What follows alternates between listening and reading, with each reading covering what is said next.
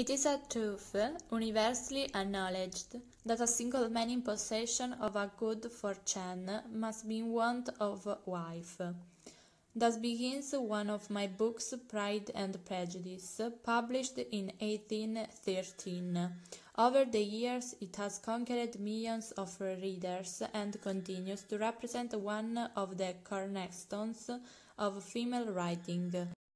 In this novel, history of women and feelings are perfectly inserted in the historical context that frames it. It has inspired other texts but also films, plays and TV series. So one of those uh, novels to be absolutely known and to keep on the bedside table to fantasize and get lost in the romanticism of uh, the past. Anyway, shh, I have a secret. When my first book was published, I couldn't tell anyone. I was the author in 1811. People thought it wasn't right for a woman to have a job, no matter, matter how talented she was. In my time, women had few legal rights, they totally depended on men. On the death of their fathers, the properties went to the male heirs.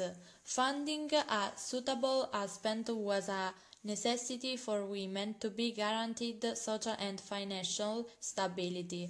I wrote a lot of books, Sense and Sensibility, Pride and Prejudice, Mansfield Park and Emma. I wrote two other novels, Northanger Abbey and Persuasion. Themes such as marrying, love, money, decorum, misunderstandings, obstacles and social uh, prejudices that the protagonist must face before reaching uh, a happy ending are the basis of my novels.